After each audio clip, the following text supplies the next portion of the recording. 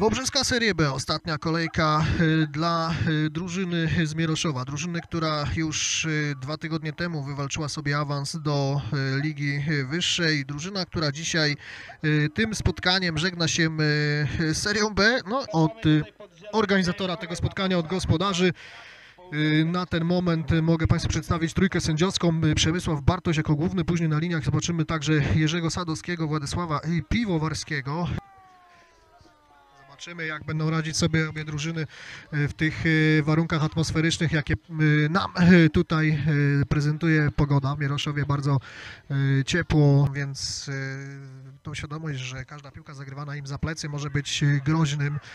Y, No, a ten moment kozła, tu koncentracja będzie najważniejsza, bo w sytuacji, w której y, częściej będą jego y, koledzy zespołu gościć pod bramką rywala, to ten moment koncentracji będzie tutaj najważniejszy. Nieraz mieliśmy okazję tutaj być podczas pojedynku jeszcze wtedy Białego Orła z Orłem Lubawka, ale proszę, będzie rzut karny odgwizdany przez sędziego. Czy uda się to zrobić Sysiakowi, czy może w jakikolwiek inny sposób Różnowic zaskoczy go. 1 y, do 0 dla wąbrzyskiej drużyny po spotkanie. Bardzo dobre wejście teraz tutaj y, gości skrzydłem. Okazja dla Podgórza. Będzie druga bramka. Nie, ależ teraz tutaj y, mają gospodarze w tej akcji szczęście. Ramek. No tak jak teraz y, nie boi się wejść w dribbling, nie ma spalonego, bardzo dobrze Sysiak y, w polu karnym, doskonała interwencja bramkarza, y, no y, gospodarze. Tutaj jednym dużym zamachem zagrać piłkę właśnie na piąty metr i proszę zobaczyć teraz akurat tutaj sporo szczęścia i przytomność umysłu bramkarza gospodarzy. Spróbują zrealizować goście. Strzał na bramkę, no proszę to uderzenie bardzo y, dobrze zatrzymane przy piąty metry, wyrzucona piłka, stamtąd y, już raz, ledwo, ledwo, ale jednak wybronili się e, gospodarza. Teraz niezła, niezła próba strzału e, Mieroszowskiej drużyny jest tym ostatnim w sezonie.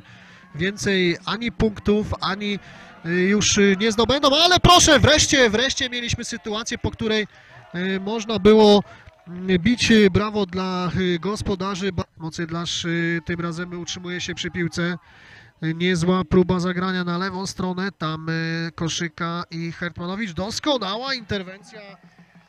Brocki bardzo udanie, jednak wciąż Piątek utrzymał piłkę w boisku.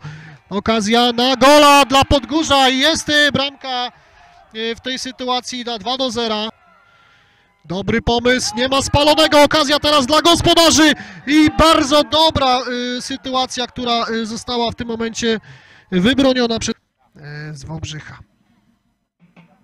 No a tutaj Różnowicz y, mija się z piłką y, przy koźle. I teraz y, Pacześny wygrywa z Hertmanowiczem. Wreszcie to jest akt, y, atak, y, który daje możliwość stworzenia sobie sytuacji bramkowej. I będzie bramka dla gospodarzy. Jest uda w tym momencie dośrodkowanie, szansa na bramkę. A i tutaj naprawdę zabrakło bardzo niewiele. Zatrzymają się w tym momencie. Bo na razie ta odważna walka. O i proszę, i proszę, to jest odpowiedź na straconą bramkę przez Podgórze. Mało. Przez y, kilka minut y, drugiej części meczu. Teraz y, należałoby ponownie przyspieszyć, zakończyć akcję być może golem. Bardzo ładne uderzenie na bramkę. I koniec tego spotkania.